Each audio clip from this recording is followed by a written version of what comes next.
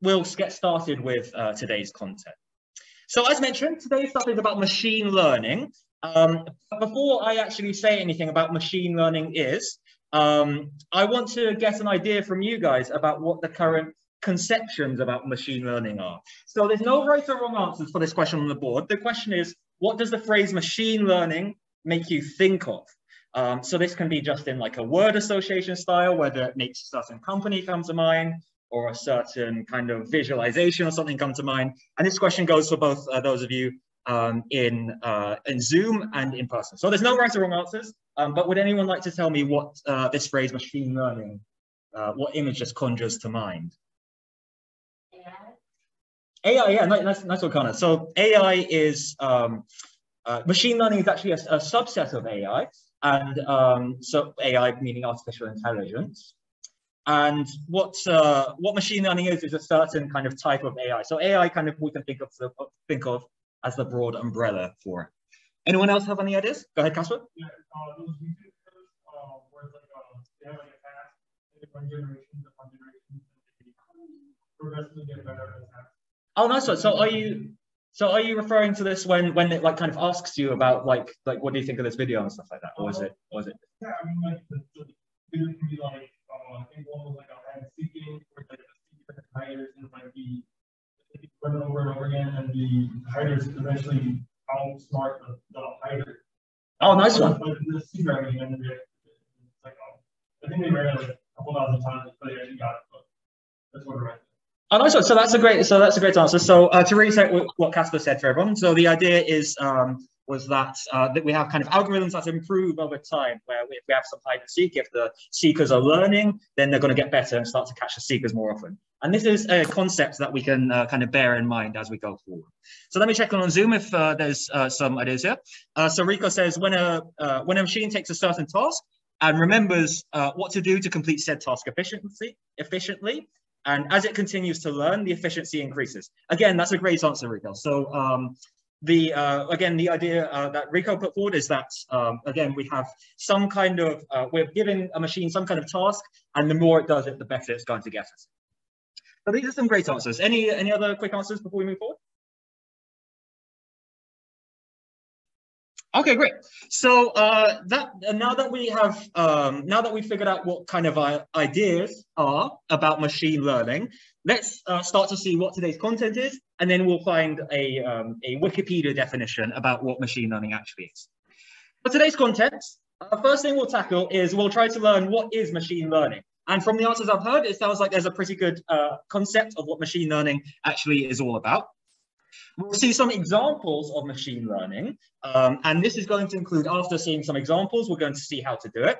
And then after that, uh, I'm going to tell you guys how, if you if you like what you see, how you can then get into machine learning. Uh, and the, the crux of that last section is that uh, MCS 275 is one of the uh, one of the kind of uh, things that helps a lot with machine learning. Well, here's a definition. Um, and let's read this out. This is from Wikipedia. What is machine learning? It's the study of computer algorithms that can improve automatically through experience and by the use of data. Now, this is uh, pretty much exactly what has been uh, put forward um, in, in those uh, great answers. Um, and but the, the problem is this, this at first, this definition may seem kind of vague, but it does tell us two important things. The first thing is uh, that it's a study of computer algorithms. And what this means for us is that um, this, can, this doesn't rely on a specialized piece of machine learning hardware or anything like that. In fact, it can be done uh, on laptops and, uh, and pretty much um, any computer nowadays. Um, the caveat for that is that there are kind of things that help with machine learning, like having a graphics card, for example. Um, I'll get into that later. Um, but uh, the fact that it's based on computer algorithms means that uh, we can uh, basically do it with any machine nowadays. Uh, and it tells us uh, it gains experience. But then another thing here that it highlights is through the use of data.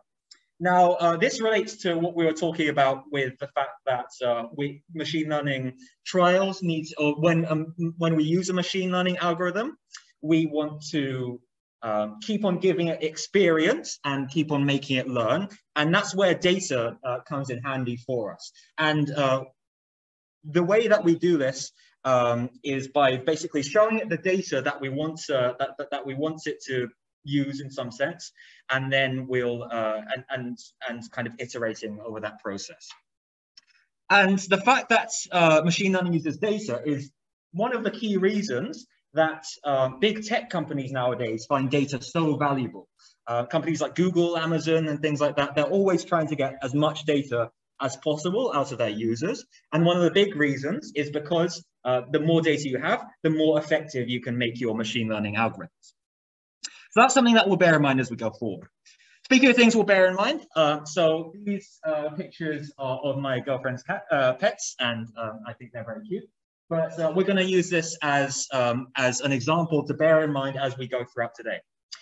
So uh, this is a bit of motivation, and this question, the question on this slide is, how do we write a program to find out whether an image is of a dog or a cat?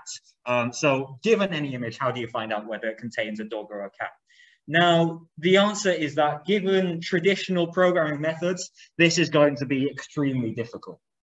Maybe you might come up with certain ideas in your head, like maybe you can use some, some stuff regarding like pillow or something to find out, you know, where are the eyes, try and find out like dark pixels or stuff like that, and then try to find out like the shading, the framing and all that. But um, the idea is that um, this will seem like a very difficult task. But the good thing is that this task is very well suited to a machine learning algorithm. So, uh, you know, we, we, may be able to write a write a write a program that uh, successfully detects that this image contains a cat. But um, let's say let's say we very slightly shifted it over, maybe it would completely fail. Maybe uh, maybe the lighting would uh, be slightly brighter and stuff like that. And um, basically, we're going to have um, a very difficult time with writing something like this. But uh, something that's interesting with this is that uh, this problem, despite being very difficult to program, to us, it's obvious. Like obviously this contains a picture of a dog and a cat. And so what machine learning is very good at is detecting patterns in some data. So let's bear in mind the dog or cat example as we move. So what I'll tell you next about are the main kind of types of machine learning. And uh, we'll kind of solidify these with some examples as we move forward. But we have two main types, and there's a third I'll show you, but this is, these are the two main types we'll bear in mind. We have uh, supervised and unsupervised learning. And what supervised learning uh, tells us is that the data is labeled. And what we mean by a label is that we have some kind of input data. So for example, images of dogs and cats.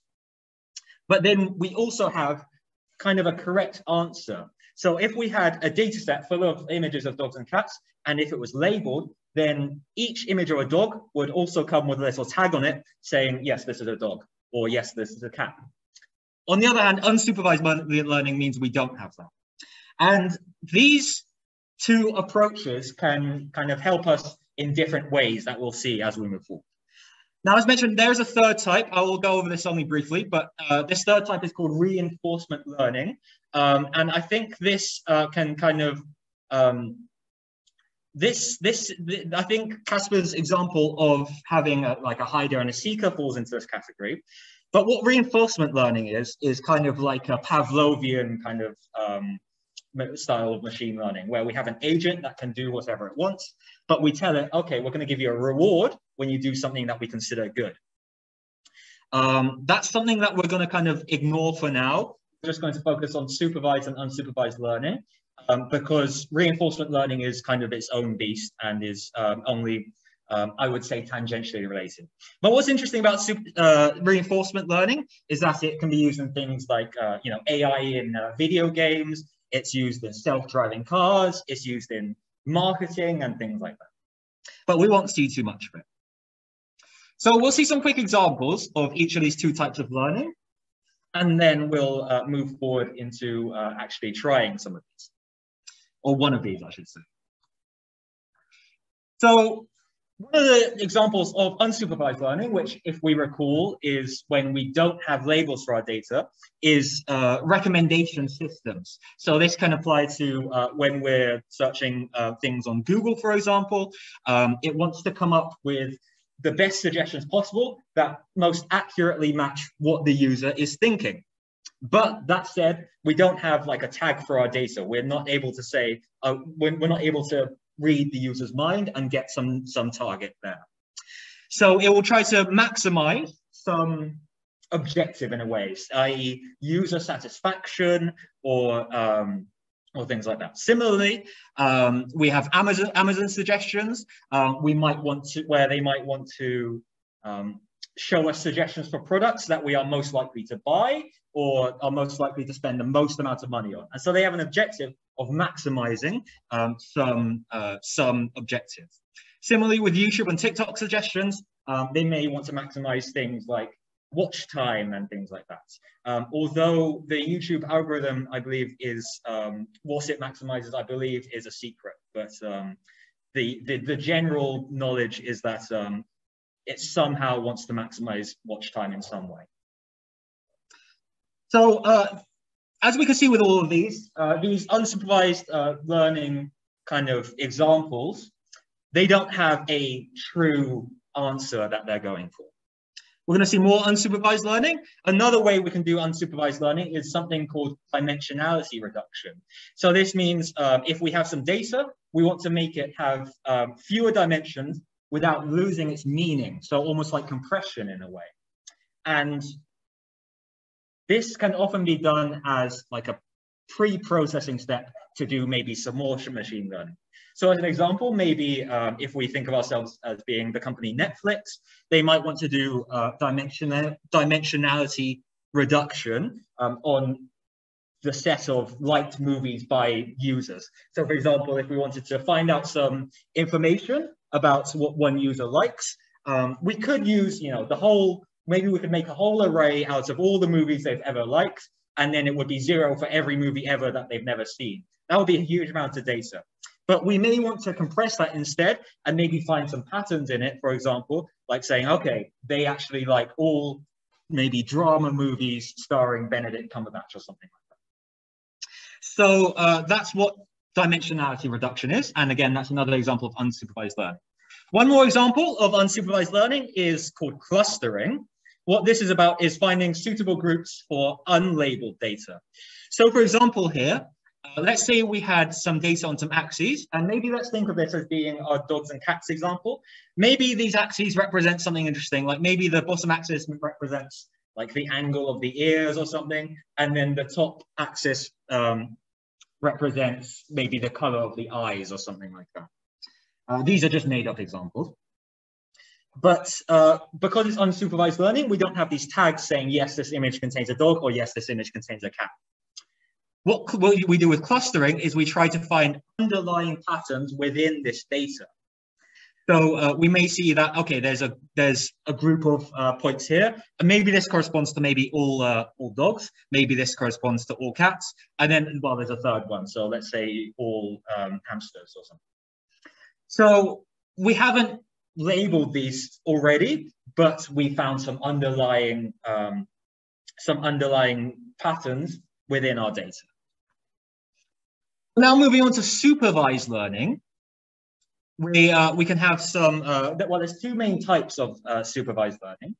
One of them is called classification, and this is the example we saw with dogs and cats, where if we want to um, assign uh, labels to some data with distinct categories. So for example, if we wanted to decide whether we had either a dog or a cat, on the other hand, we have another type of uh, supervised learning, which is called regression. And uh, for anyone who's taken stats, this is uh, similar to what it means in a, in a stats sense. But this means if we have continuous labels. So for example, if we had some information about all students' midterm scores, would we then be able to predict maybe their final score? So I'll give us some graphs to emphasize this difference here. And first, let's take a look at this graph of classification. In both graphs, we have a whole bunch of data and we have two lines. But the difference here is that um, in this classification example, again, maybe this is maybe it's the angle of the ears and maybe it's the color of the eyes. But in this classification example, we're trying to find, for example, a decision, a decision boundary. So maybe we would say that everything to the left of this is a dog and maybe everything to the right is a cat. On the other hand, regression might be a bit like uh, what you, you might have done in science class, where you might have had to say, uh, you know, given this data, plot a line of best fit or something. And then let's say uh, along the x-axis here, we had students' midterm scores. Maybe these were their final scores. And then let's say we had a new piece of data here, maybe right where my mouse pointer is. Uh, this corresponds to maybe about uh, 90 or so um, on the x-axis. Then maybe we could say, okay, this corresponds to um, about an 80 on the final, for example. Um, this is a completely made up example and this doesn't apply to any class in particular. So uh, you may be thinking so far that these examples are all well and good, but really how do any of them work? And uh, if you're thinking that, then that would be a, uh, a great question. So the answer to that is that most of these, all of these algorithms kind of have their own different ways of working, but there is a big uh, kind of tool that can help us uh, with machine learning. Now, this doesn't encompass all of the examples we've seen, but uh, something that's, uh, that, that helps us is something called a neural network. And this is something that's going to be really interesting and shows us how this kind of learning algorithm can work, or one of the ways that we can write a, uh, a learning algorithm. So I'm going to define something for you, and I'm going to call this a neuron. And uh, neuron in the usual sense, uh, we may think of as being like, you know, something within the brain, uh, like a little kind of, it, it, does something. I'm not a neurologist, but um, it, does, it does something in the brain. And this is going to be the same idea for what machine learning me, uh, uses a neuron for. Uh, it's kind of going to be our kind of building block for making a network of these neurons. So uh, we have an example here of what a neuron may look like. It's going to take in some inputs. Uh, in this example, it's going to take in three inputs. And then what it's going to put out is it's going to do something very simple. It's just going to add them up and multiply each of them by a certain number. So we say uh, the output here will be input one times weight one. And weight one is going to depend on neuron, but basically it's going to output some number. And so overall, this neuron isn't really doing anything special. It's just kind of saying, okay, um, I'm going to take these numbers and add them up. That's something that's easy. And uh, again, this, these weights are going to vary depending on what the neuron is. And we can have different, uh, different sizes of inputs here. Um, so they're very basic, they don't do very much. But what if we put a whole bunch of them together? This is what makes uh, something called a neural network. And these are huge collections of neurons um, as inspired by kind of um, biological brains. And what we may think of, uh, how we may think of these working is, uh, let's say we want to give uh, some data to a neural network. We would have what's called this input layer here, right where my mouse pointer is. And let's say we were trying to train it to recognize dogs or cats. The way that we would give it an input is maybe we would say, we could use something like what we know this week from uh, about Pillow is we can, you know, maybe flatten an image into a 1D array. And then we can say, okay, this is the brightness of pixel one, pixel two, and so on and so. So we're able to feed in um, data in this way, and we can even feed in images. What we get is an output layer. So this one has three. So maybe let's, again, pretend that we have three types of data, dogs, cats, um, hamsters, or something like that. What this uh, neural network is going to do is, first off, it's going to start off not knowing anything. It's just going to have random weights we're going to give it in something, and we're going to give it something that's obviously a dog, and then maybe you'll say, okay, yeah, that's a hamster. We're going to say no. Um, but what's going to happen is that it's going to have some output here telling us what it thinks the image is. And if we're doing image classification, the way that this is going to work is uh, maybe this first neuron here will correspond to dogs, then to cats, and then to hamsters. Uh, and then we can say take um, its prediction to be whatever the, the strongest output out of these neurons is. And so, um, again, it's going to start off kind of making random guesses. Uh, we're going to put in some data. It's going to kind of do something completely arbitrary to it. And then we're going to say, okay, that was terrible. It doesn't do anything. But this is where the whole learning aspect is going to come in.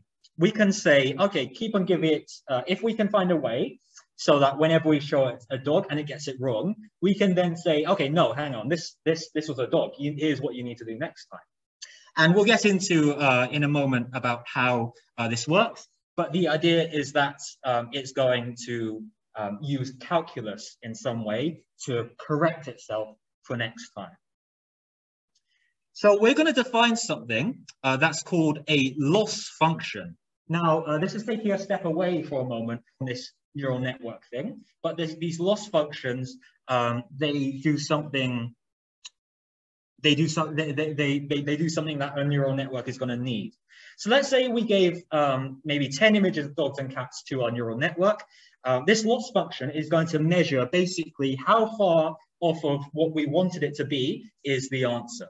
So uh, maybe a basic way to define a loss function would be uh, say, okay, add one to the loss function if it gets it wrong, otherwise don't add one to the loss function. And then the higher the loss function is, the further away our neural network is from being correct. Now, uh, loss functions are defined usually in uh, more complicated ways than that, but that's the basic idea. And then we can use calculus to make this as small as possible.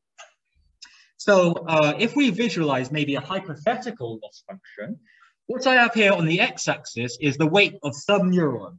Now, this is going to be only a tiny little aspect in our overall um, in our overall neural network. But the key here is that as we show more examples to our neural network, we want to change these weights so that uh, the values of these weights are going to be uh, are going to make the loss function as small as possible. So we're trying to optimize the loss function. So let's give us an idea of what this is going to look like. Let's say uh, we initialized random values in our neural network. Maybe our initial value is going to be here for some weight of this neuron. Now, again, recall that these neurons uh, are going to start off not doing anything. They're just, uh, well, they're going to do something, but not very much. They're going to say, okay, take in uh, some, some values, add them up, and then, uh, and then give us an output multiplied by some values. So let's say for some weight uh, of some neuron, we have this initial value. This is going to correspond to some value within our loss function. What we can then do is uh, using calculus, and I know this is uh, pretty much skipping over a lot of the details, but using calculus, we can find the gradient of this neuron. So uh, it's going to look something uh, something like this. And notice, usually uh, the gradient would maybe have an arrow pointing this way, but I have an arrow pointing this way. And the reason for this is that we want to say, okay, next time, change this weight so that it's in the direction of this gradient. So maybe we want to say, okay, if our initial guess was here, and let's say maybe this was our starting values for neural for the neural network, and let's say, okay, it was getting a whole load of things wrong. What we would say is, okay, hey, get things better next time. What you need to do, uh, and you being the neural network, what you need to do is you need to move this weight in this way. And then maybe next time, or after a few iterations, it would eventually uh, the goal would be to move this, the weight of this, so that the loss function is as small as possible. We want to get as close as possible um, to this minimum value. Now I'm going to backtrack a few slides. I'm going to go back to this neural network. Overall, what this is doing is, let's say we gave it a, an image of a dog and it gets it wrong. Let's say it says, okay, the, the actual answer was a cat. We're going to get some value of our loss function from that. What we would then say is then, okay, to be more correct next time, we're going to say, hey, you need to make this loss function smaller. And because our loss function is characterizing how wrong our neural network is, we're making sure that it's wrong less often. So overall, uh, oh, and I forgot to explain kind of how this uh, this neural network works. But uh, okay, we have our inputs uh, there. And uh, let's say we were looking at this particular neuron.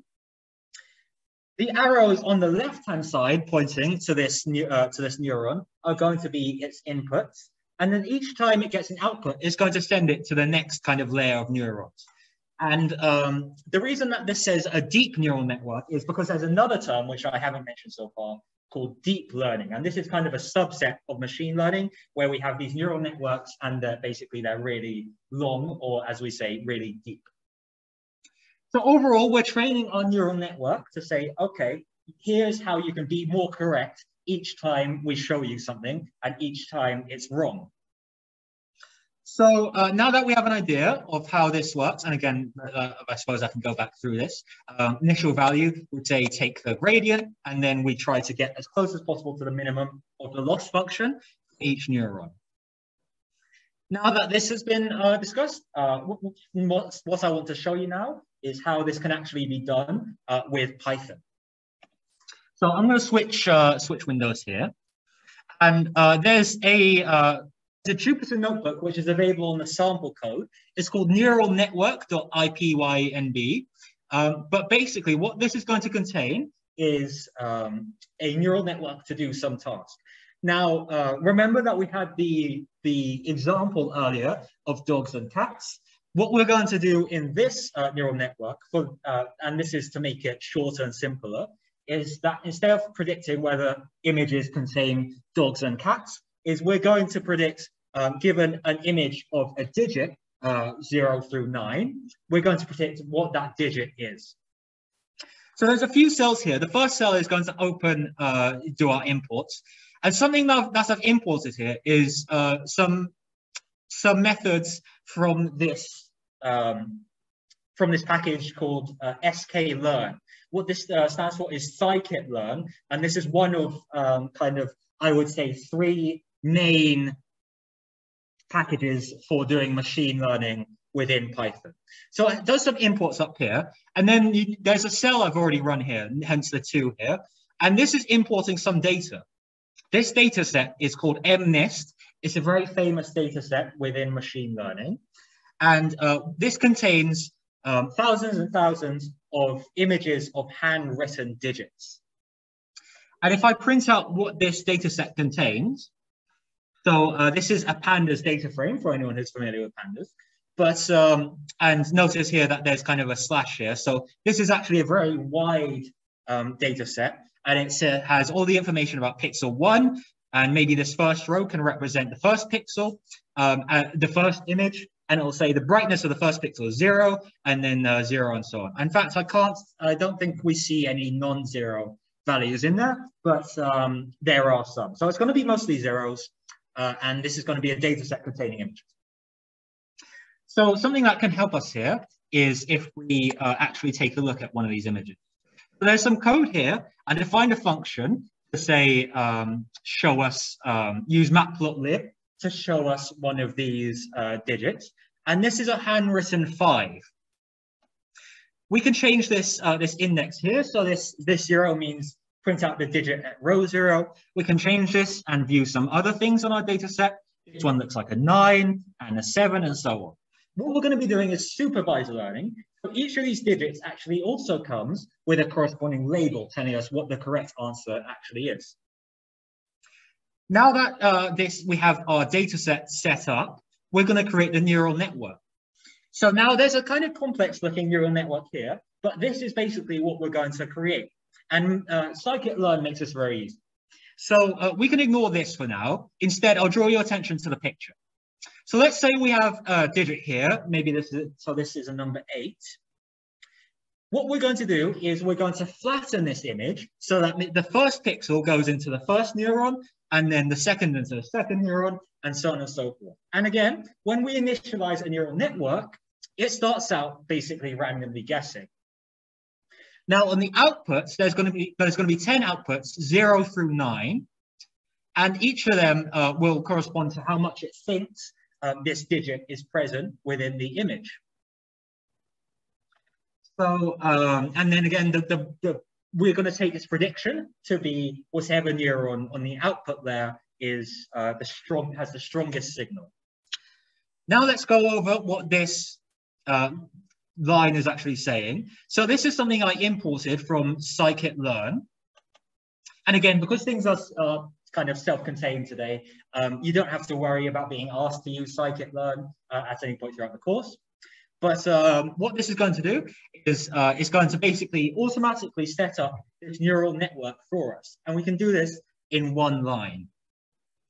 And there's uh, some optional arguments here. It's going to say the hidden layer sizes, and we're going to give it a, uh, a tuple containing just the number 50. And this is going to mean, okay, by hidden layer, we mean all of the layers between the input and output layer.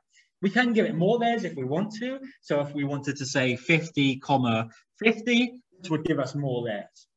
Now, uh, something that uh, you may be wondering is how, how do you know um, how many layers to give it, what size, and so on and so forth. Oftentimes, the answer is usually down to experimentation, but generally speaking, the more layers you give a neural network, the more powerful or the more expressive it can become. Now, uh, our problem here is rather, um, in terms of machine learning problems, uh, it's a bit on the simpler end because we're not trying to say, for example, um, uh, we're not doing like, you know, find out what animal this is. Instead, we're doing, uh, we're doing digits. Therefore, we can just make our uh, neural network um, relatively small. And again, it does have loads of neurons, but in the grand scheme of things, quite small. There's some other optional arguments here. Um, I'll briefly explain what these are to uh, just for anyone who's curious. Solver equals SGD. This means uh, stochastic gradient descent. For anyone who's done anything about optimization, um, this is basically the idea that we uh, talked about earlier, where we say, okay, each time the image is wrong, we're going to um, use the gradient to make uh, things better. Max iteration is you know, how many times, uh, basically how much we want to train the, the network verbose equals true. This is just asking us to uh, show us um, outputs when we, uh, or, or, tell us about what happens when we train it. And batch size means, uh, well, we can train in batches, we can show it 200 images at a time. So that sets up our neural network, and I just ran this. And then there's a line here that says, okay, let's fit this to our data. So what we're giving it is uh, these two values, x train and y train. X is going to contain all of our images and Y is going to contain all of our um, labels. Something I'm actually, I'm actually gonna scroll up for a moment because something I ne neglected to explain is that we split it into X train and X test. And um, what, we what we've done here is that we've reserved some of these X's and these Y's for testing. We're gonna say, okay, don't ever show this um, while this neural network is trying to learn, don't ever show it anything from X test and Y test. And what this will mean is that then afterwards we can see, okay, if we show it a number that is never seen before, um, is it able to guess it? Um, in this notebook, I actually haven't used these, but uh, actually I have, never mind. So uh, let's scroll back down here. Uh, we uh, defined our neural network in this cell. And now uh, um, scikit-learn also makes it very easy to train our network. So our network is initialized, not really knowing um, not really knowing anything particular. We're going to say, okay, train it. And now it's going to print out um, how well it's doing. So at the first iteration, when we showed it the first 200 batch uh, images, um, it had a loss function of 2.2, but by the end, um, its loss function kind of went way down. And now our neural network is trained. What we've just done is we've shown it loads of images of, uh, of digits, and each time it's guessed wrong, we said, hey, no, wrong, that's bad. Uh, next time, um, you should guess this instead. So now what we can do is we can say, okay, we've got a trained neural network. That's very nice. What, what, what can we actually do with it? This is why we, we reserved um, some of the information from earlier. There's a cell here that says, um, that says, okay, take a, take a certain image, display it to us, and then these two lines here ask uh, what the neural network, what it thinks is in this image. And this is, uh, because this is from our testing set, this is going to be a digit that is never seen before. If I run this, we're going to get out, uh, we, we gave it the number nine as an image. It correctly guessed that, okay, this is a number nine. Our algorithm has just learned what a nine looks like. It's found the patterns within the data and it said, okay, yeah, this corresponds to a nine. We can try it with some more things. It's not perfect, by the way. We could try it with some more things. I'm going to change this index here. Anyone want to give me a, a random number between 1 and 10,000? Six, thank you, Andrew. Six was an image of a one, and it said, okay, yeah, this is a one as well. And again, it's never seen this one either. Let's try this a few more times. Um, it may it may get some things wrong. In fact, it'll be interesting if it gets some things wrong. Um, I'm going to go through these very fast until it finds something wrong. Um, you know, it may be fooled, for example, um, if we show it like a weird looking one, it may say, okay, that's a seven. That's something that even us as humans can do. We may say, okay, the, the, the top of this seven or the top of this one looks very long. Okay, that's a seven. And in fact, um, I actually sent this notebook to Professor Dumas, and that's actually what happened. So uh, he actually hand wrote some digits. Um, so he wrote, wrote it here, um, a two, a seven, and a five. He scanned them and cropped these images, and he asked the neural network, what does he think these images are? Obviously, this there's no way this um, this neural network could have ever seen these before because he literally wrote, wrote them out. What he thought, what the uh, the neural network thought these were, were two, one, and five. So uh, this two, it correctly identified patterns uh, to say, okay, this must be a two. This seven, it got wrong as a one. Um, and this five, it got correct as well. That's an example of a neural network. And there is a, even a bit more in this, um, in this notebook as well. Um, but this is going to be mainly extra, and I'm going to go over this um, in only a small amount of detail. So this imports another dataset called fashion MNIST. Uh, and this is basically the same thing, but instead of having images of digits, it has various articles of clothing. So uh, there's there's a there's a sneaker here, um, there's a dress or something here, and there's a shoe here. We, uh, we can do the same thing here. This code does basically the same thing as earlier. We'd say, okay, train it on some images, save some of these image, images for later, and then ask it what it thinks um, each prediction is. Now there's a dictionary here saying, okay, um, whenever this this tells uh, um, this translates our neural network's output into readable words. So, and that's because um, it has 10 outputs, zero to nine, but we want to say, okay, this zeros correspond to t-shirts and so on. Let's test our neural network.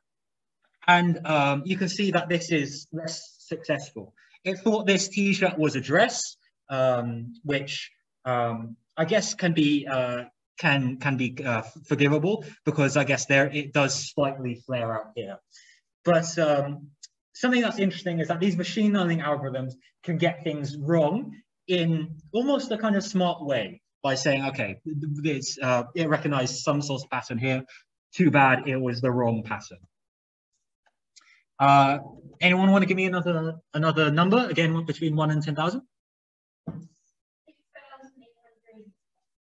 6,802. Thank you, Connor.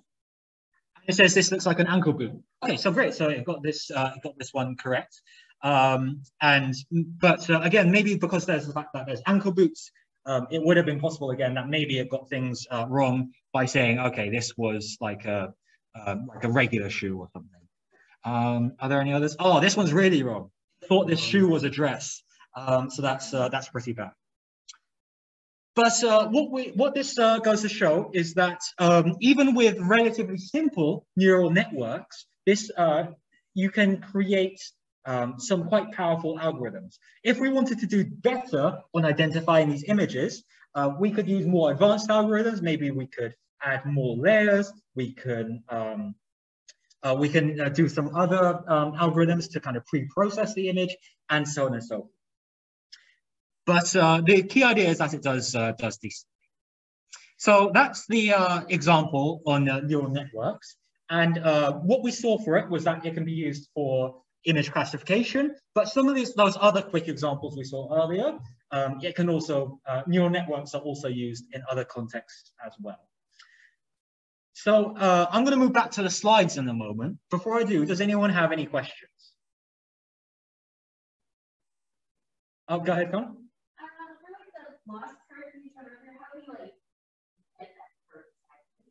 So that's a great question. So uh, are we aiming to kind of, uh, so is this relating to what we saw with this kind of visualization? Yeah, because how like slowly does itself, but how does it have a curve to slowly does itself? So that's a great question. So um, if uh, so, uh, let me uh, let me repeat my understanding um, of the question, and I'll uh, and uh, if if if it's uh, incorrect, then then please let me. Um, but I, what I believe the question is, is um, given um, how, how, basically, how do we know what this loss function looks like? The answer is that um, in, pra in practicality, um, we usually don't. It is possible to graph them out using some other advanced techniques, but this uh, loss function, as I showed you guys, is actually very um, idealized and very simplified. In reality, a loss function may be very bumpy, and that's why we use kind of this method of um, calculating the gradient of each step and moving in the direction of the gradient. If, uh, if in reality the loss function was simple like this, then we may be able to use other things from calculus, like say, okay, find out find out where the gradient is zero and then set the answer to do that. Um, but uh, unfortunately, in real life applications, it can be quite a bit messy. Uh, does that answer your question? Oh, yeah. Okay, sounds good. And uh, Kylie, did you also have a question? Yeah.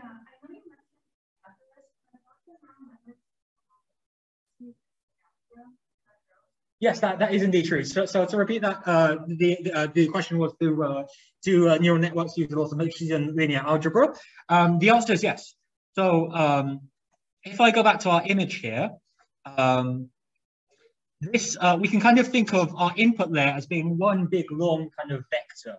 Similarly, um, we can think of the next layer being a whole long vector and the next layer being a whole long vector.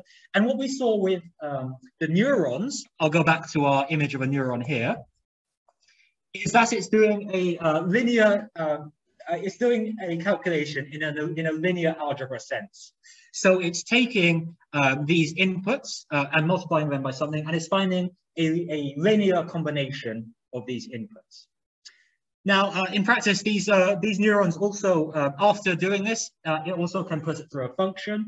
Like uh, one common function is maybe it will say that uh, if the output is negative, then set it to zero and so on.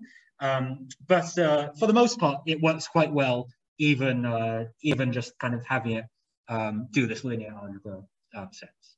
Um, so yes, linear algebra is very important for machine. That's a great question. anyone have any other questions? This includes Zoom, by the way.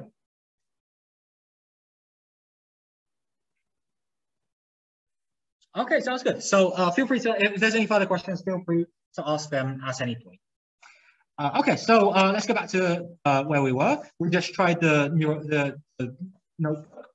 Uh, and now the last part is uh, how can you guys do machine learning if you're interested? So what we saw was scikit-learn, and generally speaking, this is the simplest way to do machine learning. it has a whole bunch of various different models that we can use. Um, it's really good for unsupervised learning. Like um, it can very quickly do things like clustering, like we saw, um, and it's great for quick implementations. There's two others here. Uh, one of them is called PyTorch, and the other is called TensorFlow. PyTorch uh, is a little more popular, is a bit more popular than TensorFlow nowadays. Um, but but what these are good for is deep learning. So where we have these kind of deep neural networks. PyTorch, I believe, was originally developed by a, uh, a developer team at Facebook and TensorFlow by a team at Google originally, um, but they are both um, open source. And um, as we mentioned earlier, um, there, no special hardware nowadays is required for machine learning. Something I mentioned earlier was that uh, graphics cards um, can really help with machine learning. And the reason for that is graphics cards um, are really good at doing loads of calculations that are really simple. And as we've seen for how uh, neural networks uh, work, um, that's the case for neural networks. But uh, for anyone who wants to do machine learning but doesn't have a graphics card, Google Colab is actually really good for that because you can actually request uh, from Google, well, I, actually, I don't know, there's like an option you can uh, select where you say, okay, give me like a, give me a GPU to use for a bit. Um, and this can make your machine learning a whole lot quicker than doing it on a regular computer. You can also use a gaming computer. Um, I, uh, when I do machine learning, I use my computer here, um, and that can be quite, uh, quite, quite good as well. So uh, those are the main packages that help with machine learning. And again, uh, now uh, the idea is what tools help with machine learning. Um, so the first one listed here is Python programming. Didn't give that a big tick. So um, MCS 275 um, pretty much sets you up Python-wise for, um, for machine learning. Um, now, obviously, we haven't covered those machine learning packages, um, but uh, a lot of the knowledge is transferable. Other things that help a lot with machine learning are these three things there. So Kai, like you mentioned, linear algebra is um, a great is a is a big part of machine learning. Calculus as well, um, because of the fact that we want to kind of use optimization by finding gradients and things like that. And statistics is really helpful for machine learning as well, um, because of the fact that we're using huge amounts of data.